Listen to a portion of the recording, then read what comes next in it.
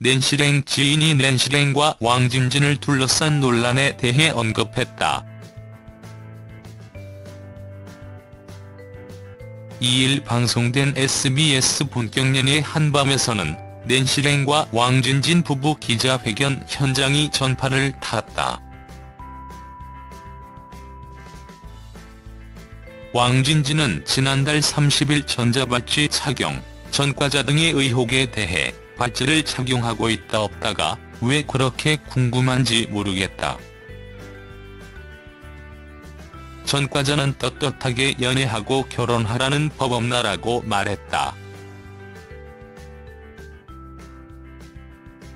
또 장자연의 원본 편지를 가져와 보여주기도 했다.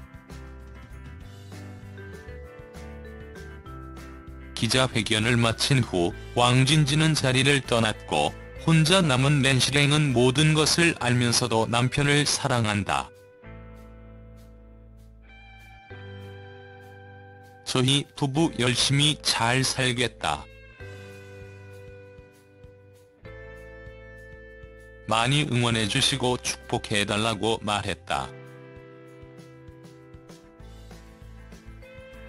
사회를 본 낸시랭 지인은 낸시가 팩트를 말하지 않고 있다.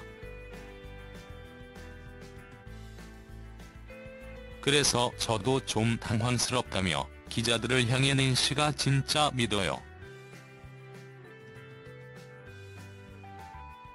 그게 문제입니다라고 말했다. 한편 낸시랭은 지난달 27일 자신의 SNS에 우리의 사랑 행복 얘기래 모두가 함께 행복하고 축복된 나날이 계속되기를 진심으로 소원합니다.